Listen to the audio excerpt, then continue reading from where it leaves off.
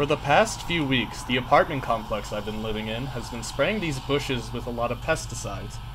And it seems like they've been using too much because we found some dead squirrels along these bushes and while they've stopped using as much pesticides, I'm worried that other wildlife is going to get into them in the meantime. So I thought we would just take matters into our own hands and live trap them. Hello everyone, this is Bridger, and today we're going to be talking about trapping. Now, most people have heard about common traps like bear traps and mouse traps, but today we're going to be looking at a live trap. And the difference is, this is a trap that causes no harm to the animal and can relocate the animal anywhere else. And the trap that we're going to be using today is a pressure plate trap. The trap itself is pretty easy to set. You just gotta bring this panel up, take this linkage back here and set it forward. And the trap is ready to go. And how it's gonna trap them is you just have to bait back here. The animal will walk up onto this pressure plate and it'll trap it. So the bait you go with is going to depend on the animal. And today we're looking at squirrels, so really we just need something that is going to get their interest, which most of the time something like trail mix will work. Uh, there are some foods you want to avoid for bait, so those things with high preservatives, for example like chocolate, may not be the best for the wildlife. Some animals actually don't have enough weight to set this off sometimes, so you can also add a ceramic bowl filled with your bait to help with that if the animals are too small. However, if you're looking for things more specific for specific animals, you can always go to montanafishinggame.gov and they have entire PDFs on each individual animal you can trap in there. So now that we have our bait and trap, we are ready to go. So right here we have the bushes in question with the pesticides, and here we have a nice little spot.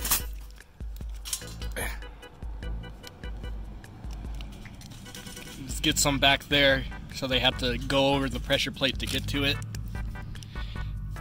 Just like that, our trap is set.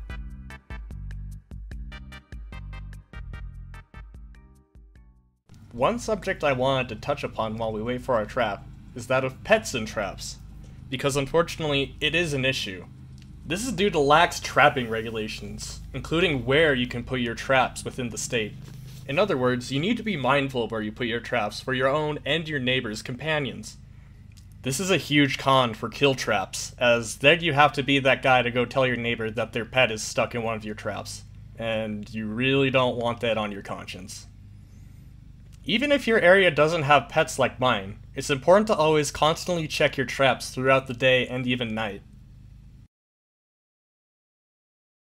Hey guys, uh, I just got up from a nap. I heard something not so friendly outside. I think our trap might have been set off, but uh, I don't know what's out there.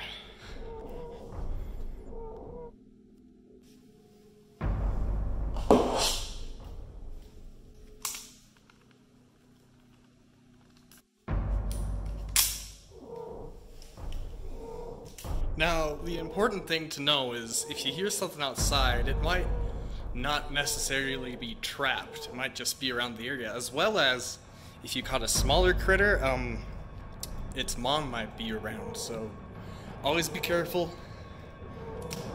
And, uh,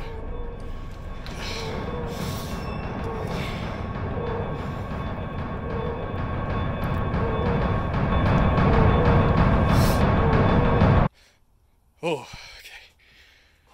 I, I think he's in here. I think we're safe. Alright, fellas, looks like we got a live one. Uh, no squirrel, but, uh, it's a live one nonetheless. So, in this situation, when the animal is a little bit more dangerous, uh, you definitely want to respect the animal. And one of the things you can do is, uh, put a towel over the cage because it'll make it feel safer, like it's in a burrow. This is one of the big cons when it comes to live trapping, is that sometimes you get not so friendly animals with not so friendly attitudes. The next order of business is to find a place to relocate this guy, because we can't just be in any old place. We gotta make sure it's the correct ecosystem. So we're gonna hop online, and if we can't find anything there, we can just contact Fish and Game directly, and they should be able to help us out.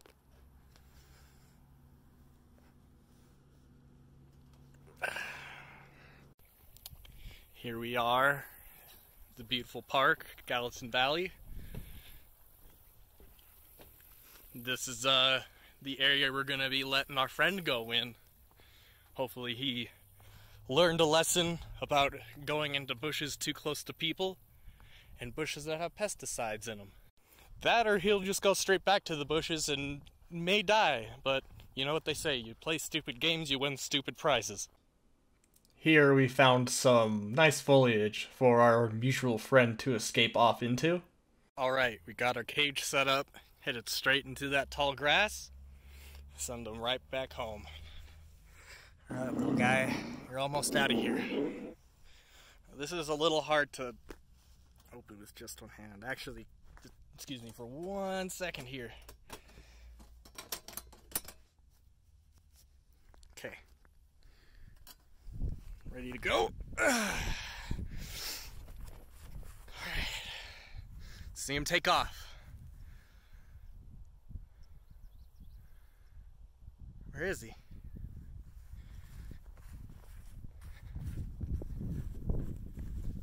Oh, have ran off.